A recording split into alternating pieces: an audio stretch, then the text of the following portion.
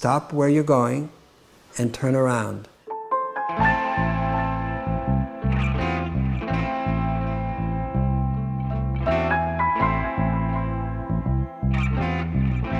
It is the highest level of greenhouse gases for the last 20 million years right now.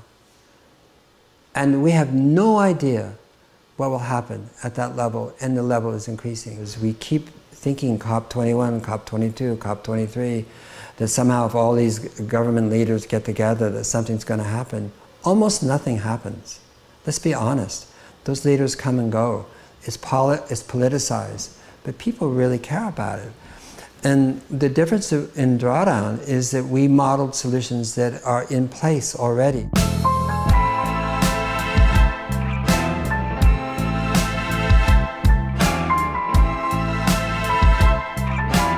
Number one solution shocked us, by the way, but is managing refrigerants. In other words, the gases that are used in air conditioners and refrigerators. And the reason is number one is because those gases are 1, 2, 8, 10, 12,000 times more powerful than CO2 in terms of their greenhouse warming potential. Number two is onshore wind power, which didn't surprise us. And, but number three is um, reducing food waste. That surprised us. Um, and number four solution is to change our diet.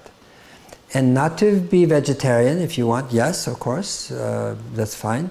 But to reduce the amount of protein that people eat, especially in the West, where they eat 80, 90, 100 grams of protein every day, the healthy amount is 50, 55 grams. But I think it's very, very important to understand that the most impactful solutions are that, but we need all of the solutions in order to achieve drawdown if we didn't understand why there's extreme weather, you know, we had no understanding of that at all, we would still want to do 98 of those solutions because they have so many benefits for clean water, clean air, clean food, for children, for prosperity, for jobs, for habitat, for, I mean, the, the, the benefits are just incredible from each of these solutions. So you don't have to be a militant, if you will, about global warming or even an activist to want to enact and accelerate these solutions because we all benefit from them.